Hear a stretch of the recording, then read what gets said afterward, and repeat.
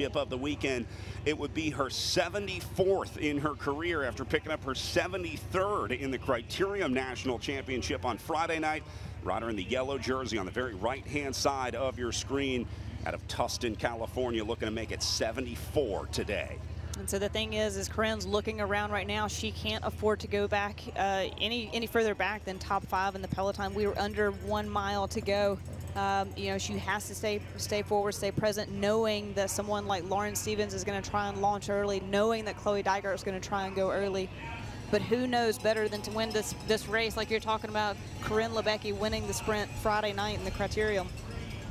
See Megan Easler from Roxo Racing coming up the outside, the right side of the picture in the purple jersey, also in the mix here.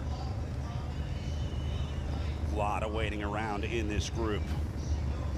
Killup's looking over the shoulder, waiting for a move to come.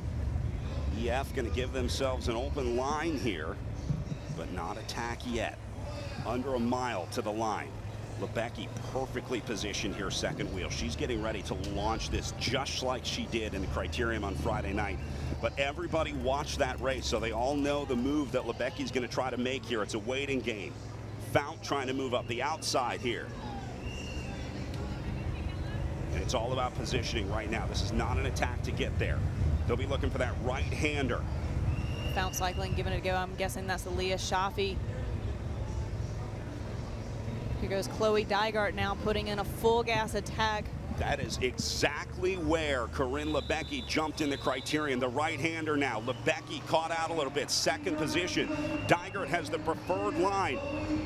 And this is almost exactly how it played out Friday night as Dygert will lead them onto the climb. Labecki trying to get around.